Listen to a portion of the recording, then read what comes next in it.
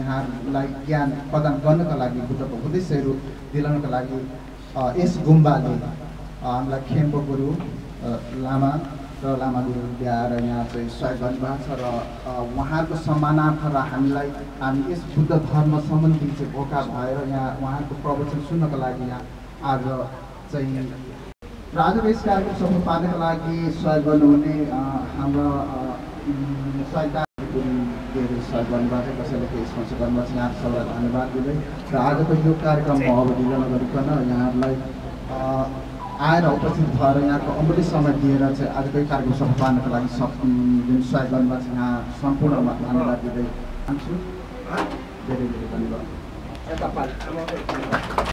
नमस्कार। म मिसाएर चाइनिज अनि इङ्ग्लिसमा पनि भनिदिन्छु हाम्रो एक दुईवटा पाहुना चाइनिजहरू उहाँ उहाँहरू पनि एकदम कठोर भन्दा पनि कठोर एकदम भक्तजनहरू हाम्रो बौद्धिक उसमा हुनुहुन्छ। उहाँहरू धेरै ठुलो ठुलो कार्यक्रमहरूमा आएर हाम्रो नेपाल देशतर्फ यो के भन्छ आई क्याम्पहरूसँग हाम्रो यो म्याडम लुङहरूसँग उहाँहरू धेरै धेरैसँग हुनुहुन्छ नेपालमा।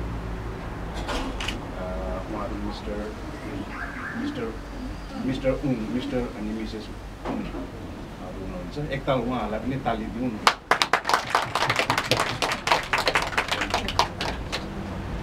मेरो नाम गच्छामी। जय बुद्ध।